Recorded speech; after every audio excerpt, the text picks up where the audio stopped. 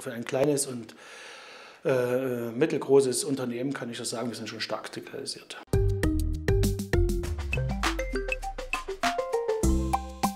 Momentan wird eher äh, auf Arbeit so der Stiefel gefahren. Es läuft doch, es geht doch. Also was, wollen wir, was, was müssen wir denn ändern?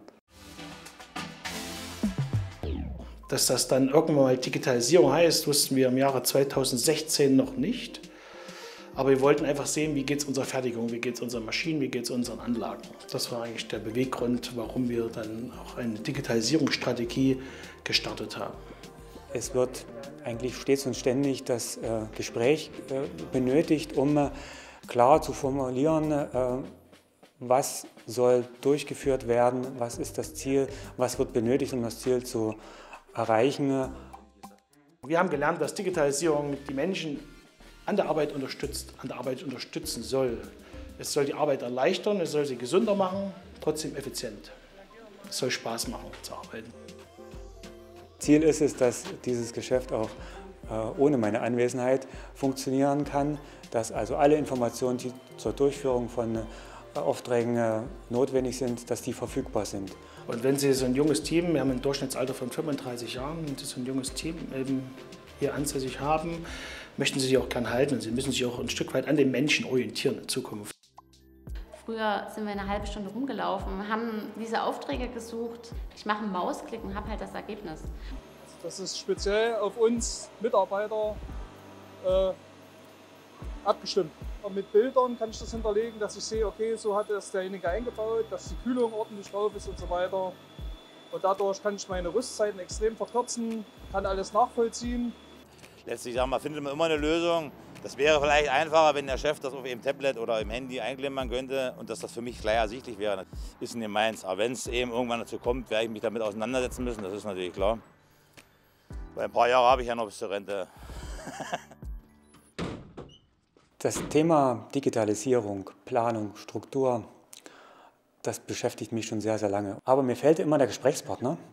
Und das muss ich wirklich sagen, das habe ich jetzt durch das Projekt äh, und eben hier in dem Fall durch Frau Preusker.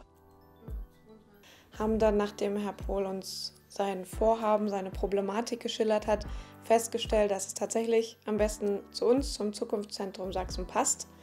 Und deswegen bin ich dann auch hierher gefahren. Also in diesem Tool ist es, würde es der Tischlerei dann möglich, diese transparente Arbeit zu gewährleisten die Mitarbeiter können über die App-Lösung dieser Software selbstständig die Termine einteilen, wann sie gern äh, was machen können, wie es in den Wochenplan passt. Die Informationen, die die Gesellen dann äh, aufs Handy oder Tablet bekommen, äh, sind alle die, die direkt mit dem Auftrag äh, zu tun haben. Ja, als es dann angefangen hat, wurden halt, ähm, es gab halt so eine Grundversion und die haben wir erst mit den Mitarbeitern gegeben dann kamen natürlich sofort Verbesserungsideen von den Mitarbeitern. Und die haben wir dann weitergetragen und umgesetzt. Ja, da hat sich auch herausgestellt, dass es äh, wichtig ist, die von Anfang an äh, mit, mit einzubeziehen und auch nach ihren Meinungen zu fragen, weil oftmals kommen auch dann durch Mitarbeiter Ideen hervor, die man jetzt nicht auf dem Schirm hatte und die Mitarbeiter, die tagtäglich damit umgehen, eine ganz simple Lösung äh, auf den Tisch bringen, die und so noch gar nicht bewusst war. Aber auch der Berater und äh, auch der Entwickler sind natürlich dann aufgerufen, die Mitarbeiter an dieser Stelle zu begleiten, weil sie als Unternehmer können das alles allein nicht abbilden. Durch die Digitalisierung ist es natürlich möglich, äh, flexibler zu arbeiten. Das heißt, in der digitalen bzw. in der arbeitsplatznahen Weiterbildung, in Schulungen der Mitarbeiter, da ist noch Bedarf. Wir entwickeln E-Learning-Konzepte, E-Learning-Module. Das heißt, wenn er ein iPad hat, wenn er Zugang hat, kann er diese Schulung auch zu Hause machen und ist dadurch äh, flexibel, kann das selber gestalten, ist äh, unabhängig, kann sein Lerntempo selbst bestimmen. Und das sind alles so Vorteile, die mit, unserer, mit unserem Angebot einhergehen. Es gibt weniger Zeitverlust in äh, organisatorischen Dingen.